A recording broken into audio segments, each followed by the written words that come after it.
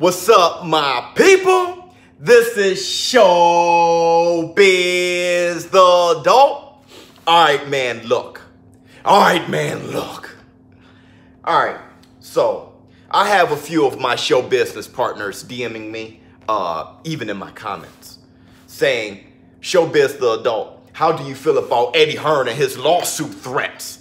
Saying that if Tyson Fury and Deontay Wilder have their bout, there will be a lawsuit, and he's in a great position to have one. Because he's saying Dillian Whyte, he should be next in line for Deontay Wilder for that WBC challenge. Hold up, cough. Okay, uh, there's actually a lot to talk about here. There's a lot to cover, okay, and I'm going to do my best, so uh, bear with me. All right, man. Eddie Hearn.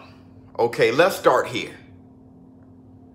His fighter, Dillian Whyte. He has a fight July 20th against Oscar Rivas for the WBC interim title, okay? Which will put him in position to be the WBC mandatory for Deontay Wilder.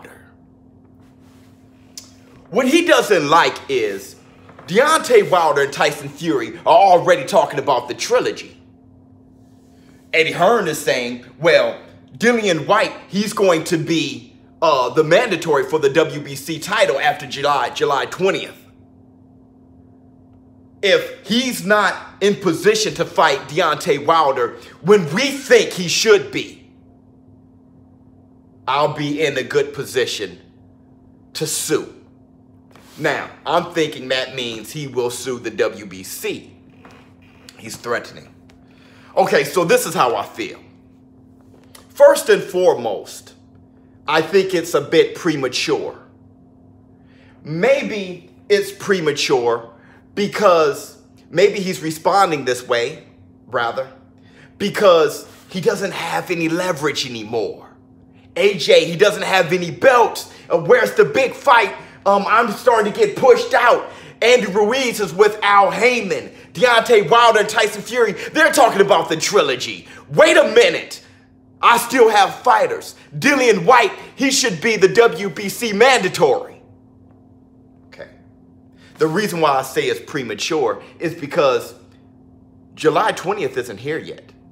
Oscar Rivas can be the mandatory. He could beat Dillian Whyte. It can be an upset. We've seen upsets. We just saw one. Andy Ruiz, AJ. But on top of that, Oscar Rivas, he is no stranger to pulling out upsets. If you know who he is, stocky heavyweight, six feet. Patient fighter, goes to the body, goes up to the head well, variety of punches, very economical pressure fighter, walks you down, pressures you with his feet. He upset Bryant Jennings. I'm not sure if you guys saw that. TKO, 12th round. So he has experience pulling out an upset. So, like I said, it's a little premature to say that, hey, I would be in a position uh, to have a lawsuit if Dillian Whyte isn't a mandatory when we think he should be. He also followed up by saying, continue to support Dillian Whyte. Well, the problem I have with that is how much did Matchroom support Dillian Whyte when he wanted to fight AJ?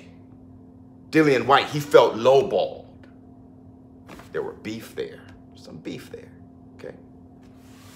All right. I do understand though if you have a mandatory, you have to take care of your mandatories. How can you possibly say, Bob Arum and Al Haymon, that there will be a trilogy and there's a mandatory out there? Problem is, Tyson Fury, Deontay Wilder makes for better TV right now. Not too many people in the States know who Dillian Whyte is.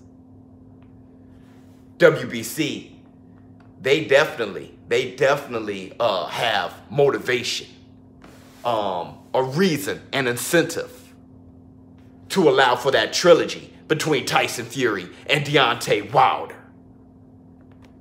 Eddie Hearn seems to be panicking a little bit. I suggest that we make sure Dillian Whyte get past Oscar Rivas before we start talking like this. Also, let's see what happens with Anthony Joshua. Anthony Joshua and Dillian Whyte, that's still a rematch that people are just yearning for out in the UK. You can still have that fight in-house. So, in conclusion, would he be in position for a lawsuit? I don't know. I don't know the rules. I get it though. If Dillian Whyte beats Oscar Rivas, becomes the mandatory, then how the hell can you talk about a trilogy with Tyson Fury and Deontay Wilder? I totally get that. I'm holding the guy with the mandatory. He's been number one for 580 odd days. So, really, I'm not sure exactly what to think about it. As a boxing fan, though, I'm excited about the trilogy Tyson Fury and Deontay Wilder. And I think that is the thing that holds the most weight for the WBC. What would people pay for the most? Showbiz the dope. I definitely get Eddie Hearn. I get why uh, he's like, hey, look here, man. I need to put my pieces back in play. I'm out.